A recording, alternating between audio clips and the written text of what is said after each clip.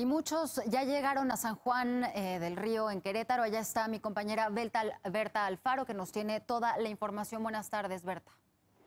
¿Qué tal, Alejandra? Buenas tardes. Pues efectivamente, en pequeños grupos empezaron a llegar a San Juan del Río, al albergue instalado en el Secuco, donde eh, personal del PIB estatal y municipal, así como protección civil, y eh, inclusive de la misma policía, Cruz Roja, todos eh, se abocaron a atender a poco más de 100 migrantes que llegaron a este albergue que estaba habilitado para atender a poco más de 600.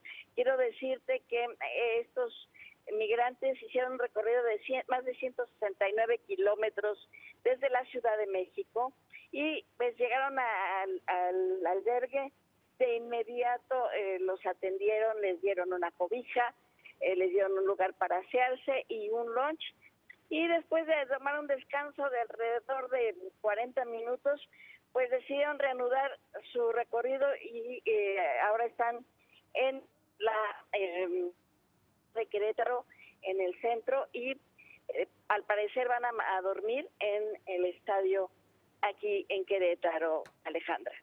Berta, ¿se sabe si eh, cuántos días van a permanecer estas personas en este albergue? ¿Se sabe cuándo van a partir rumbo a los Estados Unidos y, de qué manera lo van a hacer? Pues mira, este, hasta donde nosotros nos estamos, eh, les están en, en la idea de que les da el gobierno a dar autobuses, pero eso será el día de mañana. Quiero decirte también que el gobierno del estado instaló otro albergue en el macro, eh, en, un libramiento, el macro libramiento a Celaya, y ahí se espera que eh, atiendan al, grueso de los migrantes que saldrán el día de mañana de la Ciudad de México. Entonces, pues eh, algunos se irán en Aventón, como lo han estado haciendo, otros esperarán a ver si habilitan los autobuses para que los lleven hasta los límites con el estado de Guanajuato.